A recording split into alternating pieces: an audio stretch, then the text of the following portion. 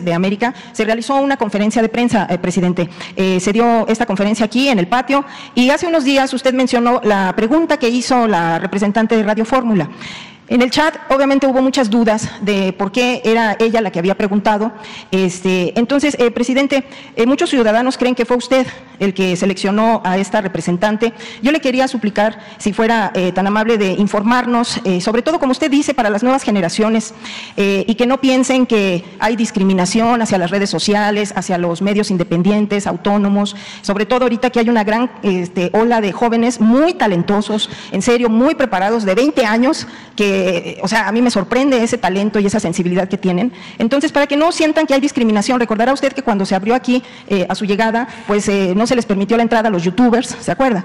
Eh, entonces, pues también se pidió que se les diera acceso, incluso a mí pues se me amenazó que también no me iban a dar acceso por andar hablando por los youtubers, ¿no? En aquel entonces. Entonces, es algo similar, si usted me lo permite, para estas nuevas generaciones que no piensen porque pertenecen a estos medios, que usted ahorita lo acaba de decir, tienen mucho dinero, pero ya no tienen credibilidad. Incluso, pues muchos de estos líderes que están en estas empresas pues están muy desprestigiadas, incluso van a salir ahora en el juicio de García Luna. Nada más si nos puede informar, presidente, cómo es que se seleccionó a esta persona y para la información acerca de, las nuevas generaciones que sepan el por qué.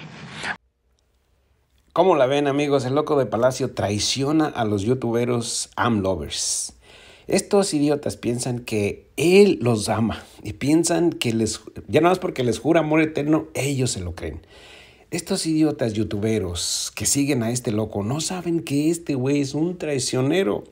Los va a traicionar, los ha traicionado y los seguirá traicionando, porque ese es su ADN de este güey, la traición. Él nada más los está usando. Amigo, seguidor de Obrador que sigues, que ves este canal y lo visitas, pues date cuenta que tú eres igual. Tú eres igual que esos youtuberos que se creen amados, se creen amados por el loco de Palacio. Y toda la gente pobre, todos los que creen, se creen amados por este güey, pues tarde o temprano los va a traicionar. Como traicionó a los youtuberos. Y si no, vamos viendo este video. Porque hay celos, muchísimos celos, amigos.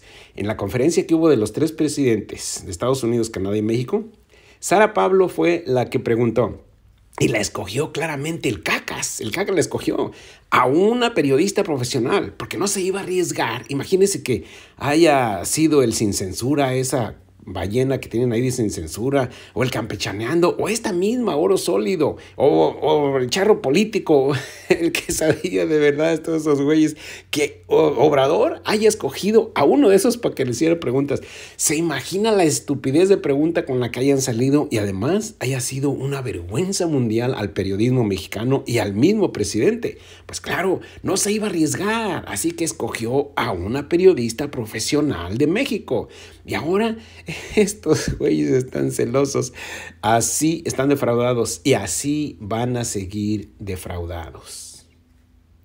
Sobre esa selección, cada este, gobierno de los tres decidió que iba a hacer una pregunta y que este, los eh, responsables de prensa de cada gobierno iban a recoger la opinión de los periodistas para ver quién eh, iba a preguntar.